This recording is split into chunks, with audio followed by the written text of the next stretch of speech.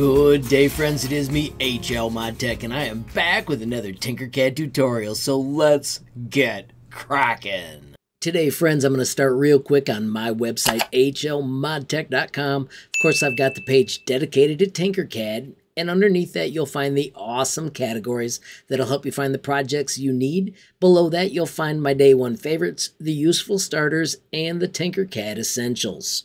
If you scroll down a little bit more, you'll also find my class on cadclass.org. It is called Tinkercad in 20 Days. Of course, this video will give you many more details. There is also a coupon code that'll get you 25% on any of the awesome courses you choose to take. You can follow this link to get to the web page in an instant. Now today's video is going to cover how to find content by me. Of course, this website is pretty handy. If you want to learn about SimLab, you can visit here, Minecraft projects, things for 3D printing, code blocks, and circuits. Whichever of these you choose, you will find that the content is organized a little better than if you visit my YouTube channel of course, an added bonus to the website is the sweet built-in messaging tool. You can click that button, add your question, comment, or suggestion, and reach me almost instantly. Now, part of today is also to highlight my YouTube channel. Friends, when you come out here, of course, the first thing you'll see is the homepage. You'll find the For You, you'll also find videos, shorts, totally Tinkercad. Don't forget you can scooch out here to find even more projects. I have them organized all in that row. I've got an entire tab once again with more content than will fit for laser cutting and 3D printing, and you can continue to explore content all the way down. But what I really want to highlight today is the search that is dedicated to my channel. If you use this search, you're searching all of YouTube. If you use this search, you're only searching my products. So say you want to make a bunny. If you type bunny in there, of course, it'll give you a quick search that shows you the content I've made that may or may not cover bunnies. This is also handy if you want to learn something like, say, SVG tricks. If you type SVG, it'll give you all of my SVG projects just like that. Same with text or 3D printing or printing in place. This is the magic tool that helps you find content faster. While we're talking about search, let's quickly check out the Tinkercad search. There are two ways to search in Tinkercad. The first one is right up here by your username. This searches all of Tinkercad. So if I type car, you will see all of the car projects that have been created.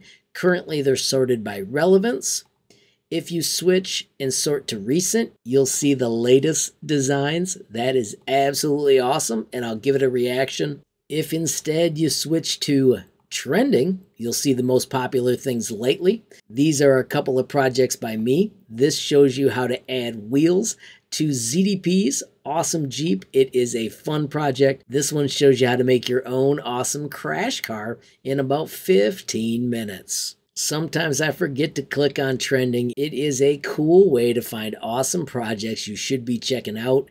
That is absolutely epic. Gonna give it a wow. Finally, friends, you can also sort by reactions. This is a fantastic way to find amazing projects. Of course, if you scroll down far enough, you'll even find some of mine that have tutorials that show you how to make them. Quickly though, I'm to back up and show you another way to search. If we cancel this and just return to the Tinkercad workspace, we can also search our designs. When you click on designs, now there's a search box right here. Notice it is below the other one. And this time when I search, if I type car again, it will only show me my cars. And notice there are 118 results for car projects. Of course, you can switch to the other pages just like that. And you can always use this tool to bounce back to page number one in an instant. You can double check to see if you have some that were made with circuits, which I do, but these are making cards.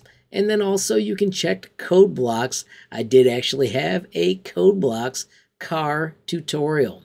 I'm going to bounce back here one more time and I'm going to let you know you can also sort by when they were created and you can sort them by name A to Z Notice since this one started with numbers, it is the first one you see. Of course, friends, I hope that helps you out with your navigating and finding the projects you want.